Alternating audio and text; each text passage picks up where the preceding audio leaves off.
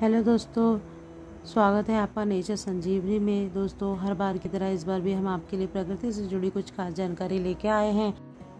आज हम आपको बताएँगे कि संतरे के छिलके से आपकी खूबसूरती कैसे बढ़ती है दोस्तों।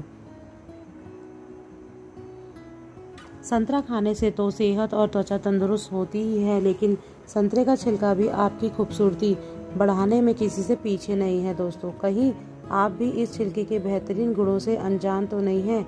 अगर हैं तो अब जान लीजिए खूबसूरत त्वचा के लिए ये पाँच बेहतरीन उपाय।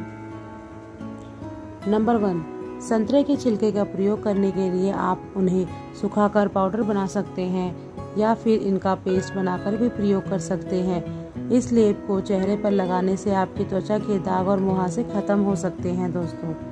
नंबर टू, संतरे के छिलके का पाउडर बेहतरीन और पोषण से भरपूर स्क्रब का कार्य करता है।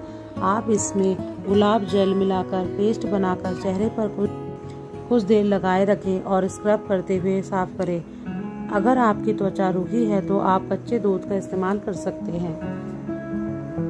नंबर थ्री, दमकती हुई त्वचा के लिए संतरे के छिलके का पैक और स्क्रब बेहतरीन तरीका है। यह त्वचा को प्राकृतिक चमक देता है, कोई साइड इफ़ेक्ट भी नहीं है। नंबर फोर, आप चाहे तो संतरे के छिकले और संतरे के रस को मिलाकर पेस्ट बना सकते हैं।